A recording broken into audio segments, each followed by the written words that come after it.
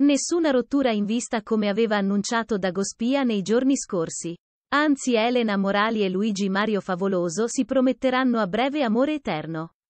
Durante la registrazione del 23 aprile 2022 della Pupa e il Secchione, come rivelato dal profilo La Velenosa, l'imprenditore campano ha chiesto in sposa la sua dolce metà. La puntata sarà trasmessa il 3 maggio in prima serata su Italia 1.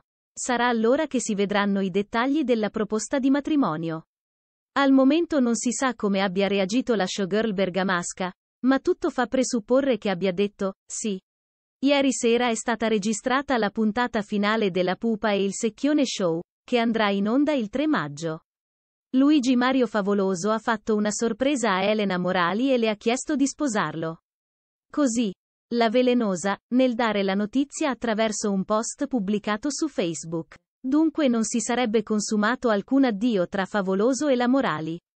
Il portale diretto da Roberto D'Agostino, pochi giorni fa, aveva raccontato che l'ex di Nina Moric aveva fatto sparire le cose della fidanzata dalla sua abitazione, decidendo di porre fine alla relazione. Motivo? Endemol, azienda che produce il reality show di Italia 1 timonato da Barbara D'Urso, avrebbe imposta ad Elena di non parlare di lui e lei non avrebbe battuto ciglio, accettando la situazione. Fatto che avrebbe innescato un profondo malumore nel napoletano. A quanto pare, però, le cose sono andate in modo diverso oppure Favoloso potrebbe aver avuto un momento di disorientamento che poi sarebbe stato superato. Al di là degli spifferi rosa, spesso alimentati in passato dallo stesso imprenditore, sembra che per lui e la compagna sia giunto il momento di fare il grande passo. Barbara D'Urso tenta di risollevare gli ascolti della pupa e il secchione.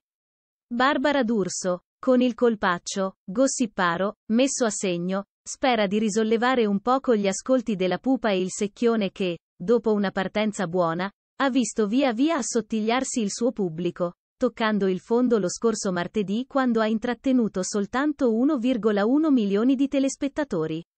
Si mormora inoltre che i vertici del Biscione non siano entusiasti del taglio dato dalla campana alla trasmissione che sarebbe stata ritenuta troppo trash dai piani alti di Cologno Monzese.